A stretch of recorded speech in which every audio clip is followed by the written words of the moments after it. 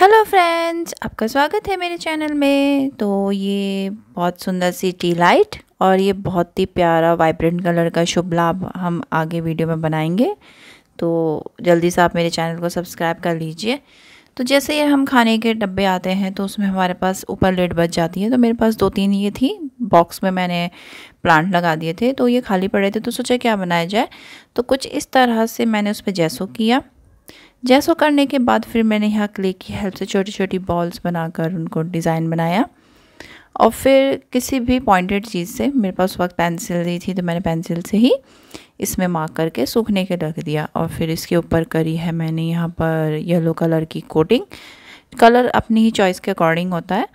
और फिर जो ये हमने लिखे थे, इनको हाईलाइट करने के लिए यहाँ यूज़ किए हैं हमने रेड कलर और फिर साइड पर, फिर इसको फॉर्निश कर दिया है अपनी क्राफ्ट को सिक्योर करने के और इसके बाद काम आता है यहाँ पर मिरर का।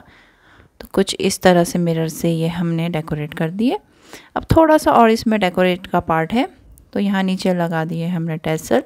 टेसल की जगह आप घंटी भी यूज़ कर सकते हो पॉम पॉम भी यूज़ कर सकते हो। तो यहाँ मेरे पास छोटी सी ये घंटी थी, और फिर पॉम पॉम और कुछ बीट्स लेके कलरफुल। मैंने यहाँ कुछ इस तरह से इसको टैग कर दिया है और इस तरह से मेरे ये सिंपल सी जो लिड रखी थी, ये मैंने बना दी है। इस तरह से मैंने और भी, इसको मैंने एमडीएफ बोर्ड पे भी बनाए हैं तो ये मैंने बनाया है कि आप आराम से इसको इजीली घर पर बना सकते हो और बेकार जो आपके पास पड़े होंगे ढक्कन तो आप उनका इस्तेमाल करके बना सकते हैं। तो यहाँ जो हम सेकंड डी बनाएँगे, यहाँ पे लिया है मैंने ये फाइव इंच का एमडीएफ बोर्ड। इसकी जगह आप कार्डबोर्ड भी यूज़ कर सकते हो। ऐसा कोई ज़रूरी नहीं है कि एमडीएफ बोर्ड ही आप यूज़ करो। तो यहाँ मैंने यूज़ किया है ये एमडीएफ का बोर्ड। और फिर यहाँ पर मैंने टी लाइट से ना जो रखनी है बीच में, उतना उसका मेज़रमेंट लेके क्ले से मैंने इसको कवर कर दिया है। और इस तरह से ये पूरा मैंने डिज़ाइन निकाला। और बीच में यहाँ पे काम किया है मैंने क्ले से बनाए हैं, जैसे वो कोड़ी आती हैं, उनको बोलते हैं पता नहीं आप लोग क्या बोलते हैं? हमारे उनको यही बोलते हैं। तो मैंने ये यहाँ क्ले से बना दिए बीड्स। और इस तरह से ये पूरा हो गया। फिर मैंने यहाँ पे कर दिया है जैसो की कोटिंग। और फिर वो भी बहुत अच्छे से सूख गई।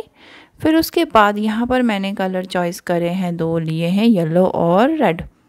और पहले मैंने पूरे को कर दिया है कि येलो कलर से कवर। और उसके बाद जब वो कंप्लीट ड्राई हो गया तब उसके बाद किया है मैंने यहाँ पर रेड कलर और इस तरह से ये प्यारी सी टी लाइट जो है ना हमारी रेडी हो गई है। तो फिर यहाँ पर ये करने के बाद हमने किया है इस पर गोल्डन शेड हाईलाइट करने के लिए। तो इस तरह से ये भी हो गया। फिर कर दी हमने इसे वार्निश की एक कोटिंग और उसके बाद कुछ मिरर के मिरर के बिना तो हमारा क्राफ्ट कभी पूरा होता ही नहीं है। तो इस तरह से ये प्यारी सी टी लाइट हमारी रेडी हो गई है। और फिर ये स्क्वायर एमडीएफ बोर्ड थे मेरे पास। इस पे मैंने अलग अलग डिज़ाइन के कुछ मिरर लगाए हैं। इस तरह से तीन पैटर्न रेडी करे हैं। और ये मैंने बनाया है वॉल डेकोर के लिए। तो यहाँ मैं यूज़ कर रही हूँ दो चम्मच वॉल पुट्टी एक चम्मच फेविकॉल, थोड़ा सा कलर और थोड़ा सा पानी बनाकर ये अच्छा सा एक पेस्ट रेडी कर दिया है।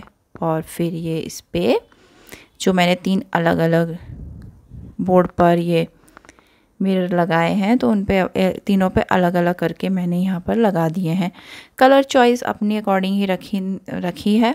आप ऐसा कुछ बनाना चाहते हो, आप अपने अकॉर्डिंग कोई भी जो आपको कलर पसंद है, आप वो ऐसा बना सकते हो। आप बड़े भी बना सकते हो, जैसा भी आप बनाना चाहो। मेरे पास ये इतने ही थे अवेलेबल थे तो मैंने ये इसी पे बनाया है। और इस तरह से मेरे ये तीन पीस रेडी हो गए हैं और फिर मैंने यहाँ पे से इसको हल्के से गीले कपड़े से तीनों को साफ़ किया है। और फिर ये तीनों देखो कितने अच्छे से ये तीनों रेडी हो गए हैं। अब इनको बारी आती है हैंग करने की तो उसके लिए हम इनको एक थ्रेड पे लेंगे और कुछ बीड्स लेंगे। तो यहाँ मैंने ली है वूल क्योंकि मेरे पास मैक्रम नहीं थी। तो आप कुछ भी यूज़ कर सकते वूल यूज़ कर सकते मैक्रम यूज़ कर सकते, डोरी या जो भी आपके पास अवेलेबल हो, आप उस करके इस तरह से ये डेकोरेटिव पीस बना सकते हैं और त्यौहार में अपने हाथों से अपने घर को सजा सकते हैं। तो आपको मेरी वीडियो कैसी लगी है, ज़रूर मुझे कमेंट करके बताना और मेरे चैनल को सब्सक्राइब कर करना और वीडियो देखने के लिए थैंक यू।